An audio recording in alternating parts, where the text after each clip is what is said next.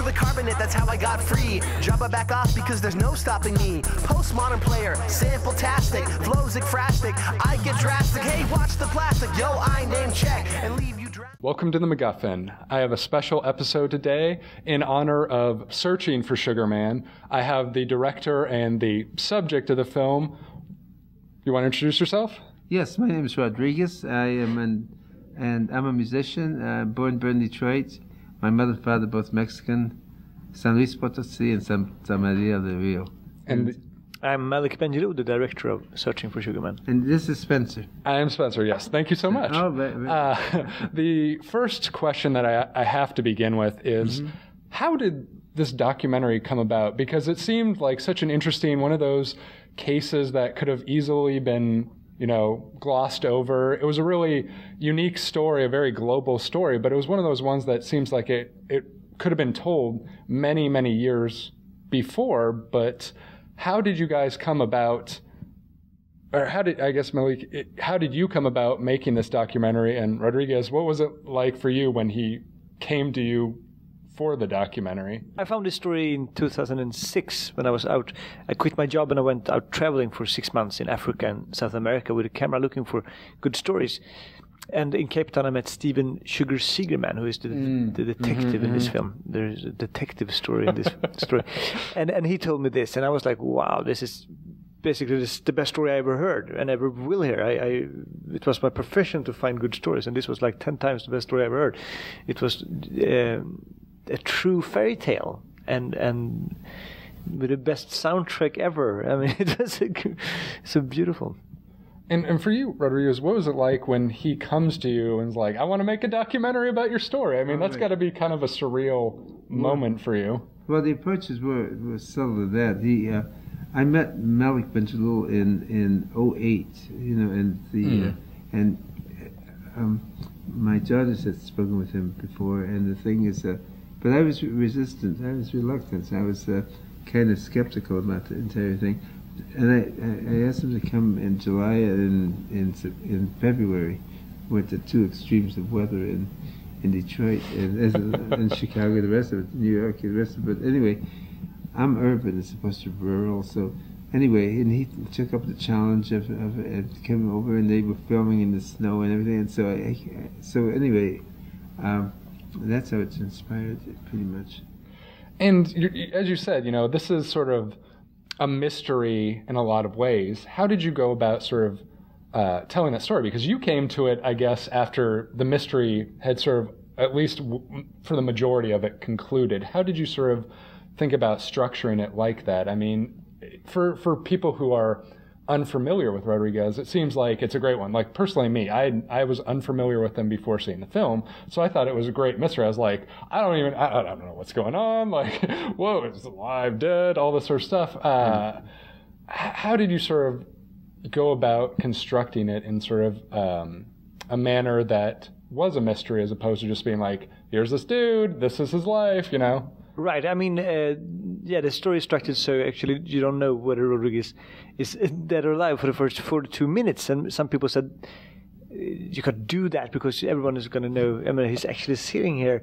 Uh, but then in the end, uh, I was thinking that yeah, but it's this is the story. I mean, if you if you see Titanic, you know the ship is going to sink. But Right. it's this it's a good story, and and this story wasn't really like a manipulated or contrived narrative structure. It was just this is the way it happened from the South African perspective. They, I mean, I don't know if you briefly the story is that Rodriguez Yes. is more famous, uh, still is more famous than the Rolling Stones in South Africa.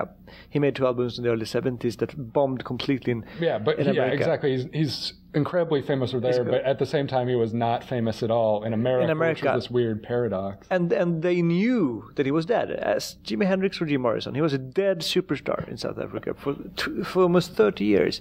That was the case, and then the, there were two detectives who started to find uh, to search for the truth on how he died. They, they didn't wonder whether he was dead or alive. They knew he was dead, but how did he die?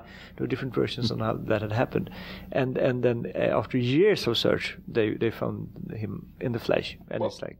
well, that, that was sort of one of the most amazing things to me was all the rumors about your death. Like that was like, you know, you set yourself on fire, you mm-hmm. shot yourself in the head. How exa- did you do any sort of looking into how that all began? Because it's sort of funny, you know, with the internet nowadays, I could sort of see, you know, one person goes on Twitter and is like, blah, blah, blah is dead, and it sort of spreads like wildfire. But this is a long time ago, pre internet. How did you sort of look into how that those rumors began, or, um, yeah, just the mystery, how that mystery began? Yeah, I mean, if you have no information, if you have a guy who is literally as famous as Jimi Hendrix, but you know, those guys we know. We know how Jim Morrison he died in a bathtub in Paris. I mean, they we all have stories about every single big artist. You can read it in newspapers or in magazines or in books, but about this guy, they didn't have any information. And then one day, one person, I don't know who, makes up a story that he died in this, you know, he died.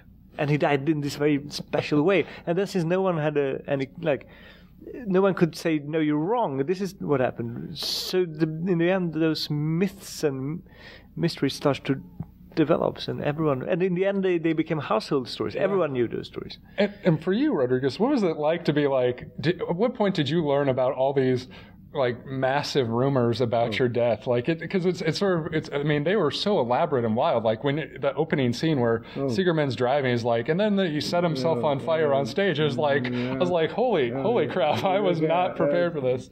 Well, um, in exp- expression of that and reflecting on it after a while, you know, I was thinking maybe it's something like he went out in a blaze of glory, you know, that kind of, maybe that was stretched out to a, a crazy point. Right. You know, so maybe like this in the language itself, I think maybe that might contribute to that. But I, I didn't have anything to do with the, uh, the movie in the sense of who he interviewed or Sure. who he chose to put this film together, and, and that through animation and through, uh, and he, he uh, Malik Bendjelloul's film. Uh, uh, he he has a suspense that he creates, Mhm. and he holds it, and he holds it, and it's much like a musical score in, in that it has that crescendo build-up. So it, it has a, a lot of things, and the journalist uh, approach of asking those hard questions and researching, and how he highlights the certain uh, aspects of the film and and brings forth printed words. So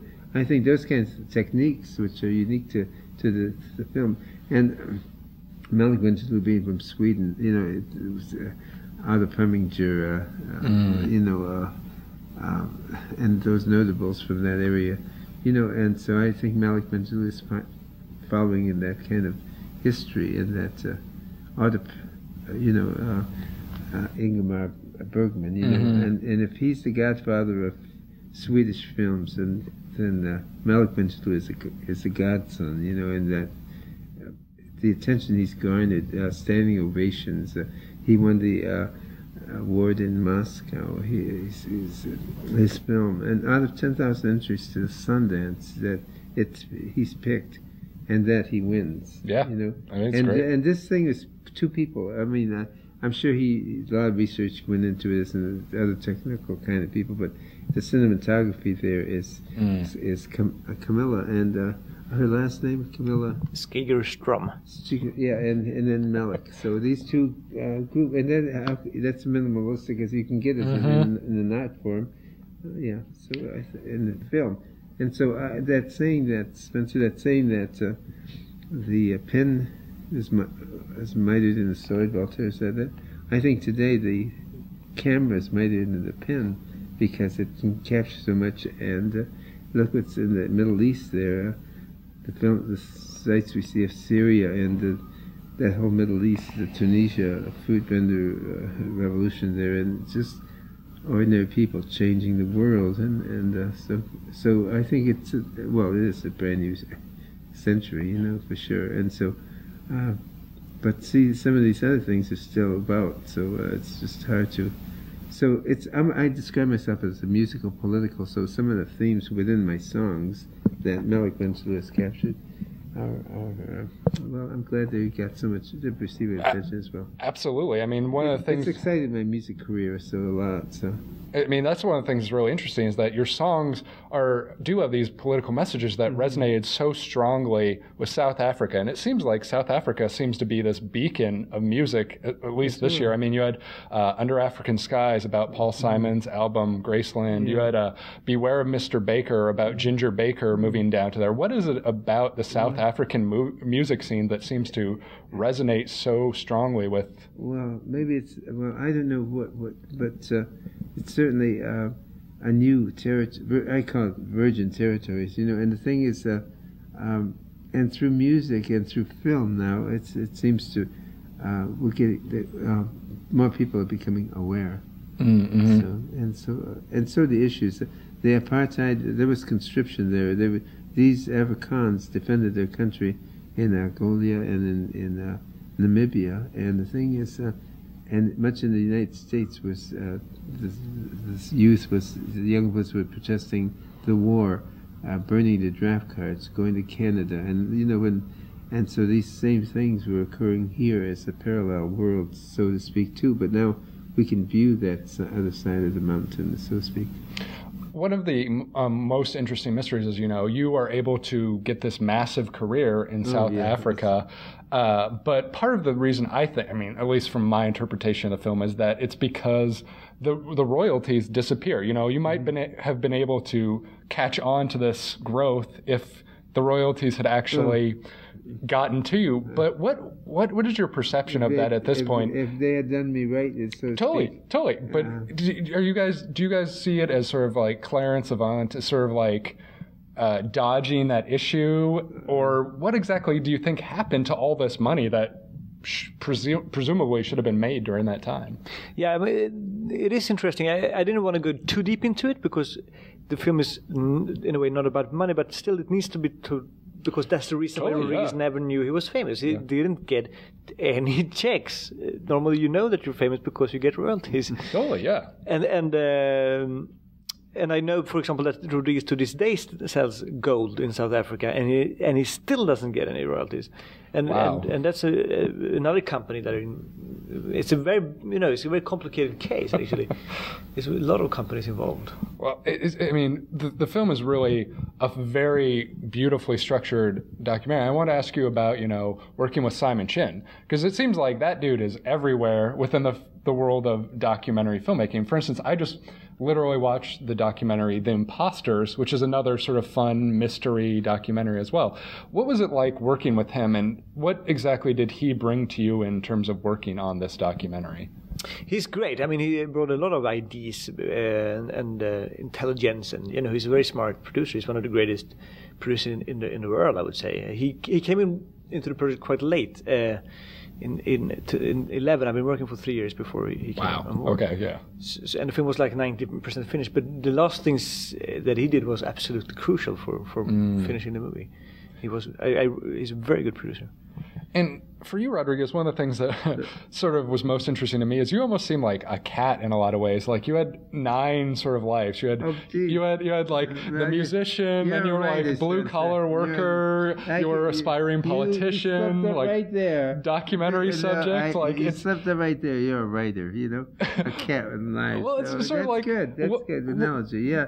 What is your uh, perception of it? Much I've used them all up. I've got a little bit of one left. I, I, th- I think you have a few left, but what what is no. your sort of perception of no. yourself? I mean, I've, you've said you've done so many different things. Oh, like, what, what, what exactly do you look back on and say like, oh, that was the best time? Was it the music? Was it oh, geez. The, you know going to South Africa? Uh, Spencer, you know the answer to that. It's always now. This is the this is the moment, Spencer. You know, so yeah, it's pretty much that. But uh, yeah, I I. Uh, the experience is that uh, it's never too early to and never too late, you know, I guess. And uh, the other thing is, he conquers who conquers himself.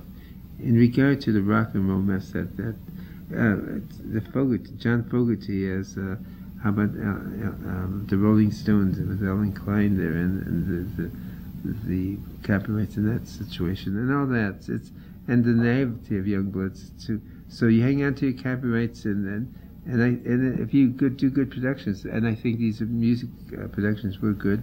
Um, it could last for a couple decades. And maybe for young buds, the way I broke into the Australian market, uh, I got airplayed by a person named Holger Brockmann, disc jockey named Holger Brockmann, who played me after midnight on, on uh, 3 Triple J.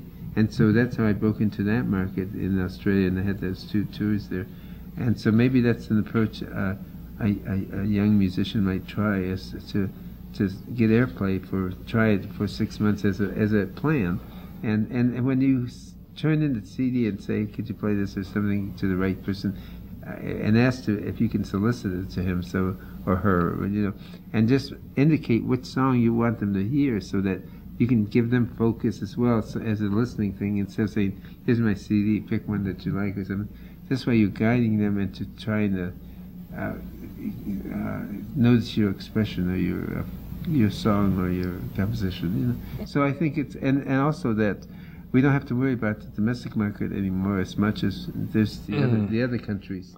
And well, so too, it's far-reaching. Like this thing can go everywhere. Well, the, I mean, one of the most interesting questions about it is. Uh, why did it go wrong in the first place? I mean, well, it was. It, that's I mean, a different question there. Uh, you know, and so music is, you know, is is instant rewards. You know, we we count up the receipts at night. With films, you have to wait a little while. With painting, you got to put it on the paper. You have the wall. You got to go carry the painting around. Music's an easy form for me, and it's a it's an art form. It's certainly a business industry. Do you think it was just like a lack of exposure, though, that was oh, really the, the ultimately surface? I don't know those reasons. I only knew the first part of this movie, or the story rather. I knew up to that the the company went bankrupt and that uh, well I better do something, uh, make some decisions here. And so I, I didn't know about the uh, royalties or you know or knew about the countdown or whatever of that because uh, I didn't believe the first part. I, that I was anything in South Africa. So that